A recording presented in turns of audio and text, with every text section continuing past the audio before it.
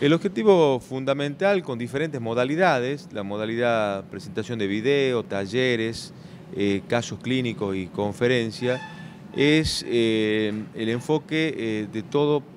sobre todo para la prevención de todo lo que es eventos adversos, errores, para mejorar lo que es la seguridad del paciente y al mejorar la seguridad del paciente se mejora la calidad de la atención. Todo esto va acompañado de la tecnología y la, tecnología va acompañado eh, de la cirugía mínimamente invasiva y la cirugía de día,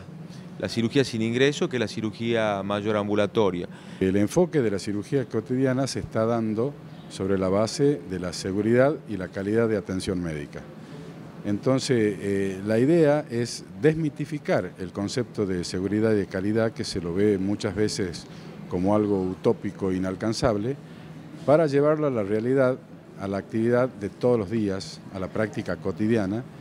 y entender que este, la seguridad y la calidad es algo perfectamente alcanzable, mejorable y aplicable en todas las unidades sanitarias, tanto públicas como privadas. El Colegio Americano de Cirujanos es la entidad con mayor número de asociados, no solo en Estados Unidos, sino a lo largo de todo el mundo. La Argentina tiene aproximadamente unos 500 miembros que se denominan FACS, F-A-C-S, que significa ser Fellow del Colegio Americano de Cirujanos. Y si bien eh, nuestra sede está en la capital federal, decidimos ya desde el comienzo de mi gestión como gobernador